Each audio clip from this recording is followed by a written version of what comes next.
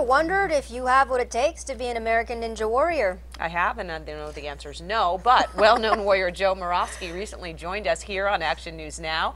And this morning, Action News reporter Elizabeth Zeledone gives us a first-hand look at how this popular activity is helping campfire survivors. So I'm here live at Ninjas in Redding with one of the ninjas themselves. You want to introduce yourself? Yeah, I'm the Olympic ninja Jonathan Horton.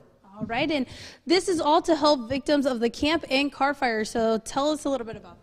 Yeah, so it's been a really impactful event. We've been here for several days now with a lot of the ninjas from the actual TV show American Ninja Warrior, and we're here just to raise money for California fire victims. You know, the camp fire and the Carr fire have just been devastating, and uh, you know, any little bit that we can do to support the people that have been so badly affected by this fire, you know, that's that's why we're here, just to kind of raise the spirits of the kids and the families that have been so badly affected. You've been here for a few days, so tell us a little bit about how the kids have been yeah, so the kids come in, they do 90 minute sessions, and we give them kind of a just a little taste of what Ninja Warrior is like. It's such a popular show right now.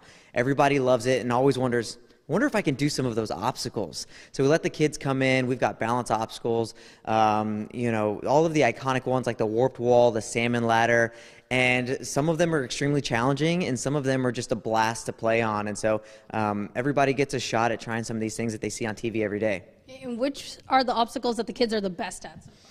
well, I think the kids love this the best, what we're looking at right here. This is our, our kind of parkour balance course, and we time them. I think the fastest kid did this entire course in 14 seconds, and I think he was like 10 years old. Just unbelievable. They come back here and just run it over and over and over again. So as I've seen, kids seem to do better at these kind of things because they don't think about it. Adults, we think a little more. Do you see that? Oh, absolutely. We, we're staring at it like, uh, how can I not get hurt on this? And the kids are just like, you know, going through it over and over and over again, having, you know, so much fun. They don't think, you know, twice about anything at all. Okay, so describe this one for us right now. Yeah, so this is our, um, you know, I like to call it the balance course or agility course. We've got the quad steps, um, a couple things to jump over, and most of the kids can get through this in five to 10 seconds. All right, so five to 10 seconds, and I'm now going to do it with Daniel, who's going to join me, and I'm going to hand off my mic, and I'm going to trust you. I'm going to hand off my mic to you. We have 30 seconds to.